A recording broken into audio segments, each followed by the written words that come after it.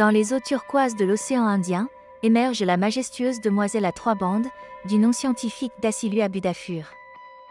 Sa silhouette élégante avec son dos arqué et ses larges bandes noires transversales ne manque pas d'attirer l'attention. Sa tête, agrémentée d'un médaillon blanc distinctif, se démarque grâce à une bande noire audacieuse. Dans les récifs coralliens qu'elle affectionne, la demoiselle à trois bandes évolue parmi une multitude de créatures marines. Elle partage son espace avec d'autres espèces, comme les demoiselles bleues, formant ainsi une symphonie vivante de couleurs et de mouvements.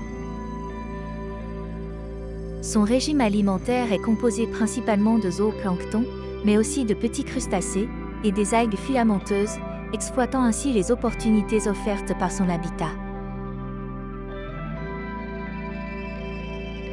La reproduction de cette demoiselle s'articule autour d'un mode colonial et territorial. Les mâles préparent un nid au sein du massif corallien, attirant les femelles pour la ponte des œufs. Ces dernières déposent les œufs dans le nid, que les mâles fertilisent immédiatement.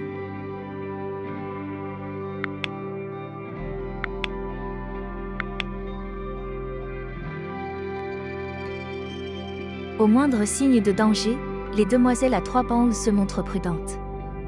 Elles se glissent habilement dans les recoins des coraux, se dissimulant dans les dédales des structures coralliennes. Ces cachettes offrent non seulement une protection contre les prédateurs, mais aussi une opportunité pour les juvéniles de se familiariser avec leur habitat et de développer leurs compétences de survie. Se cachant parmi les adultes, et malgré leur taille plus modeste, ils arborent eux-mêmes et déjà les traits caractéristiques de leur espèce, témoignant de leur adaptation précoce à leur environnement.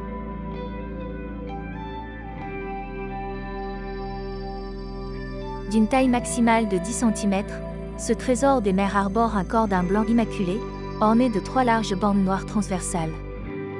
La partie antérieure de sa tête est enveloppée d'une bande noire, laissant apparaître un médaillon blanc gracieux sur son museau.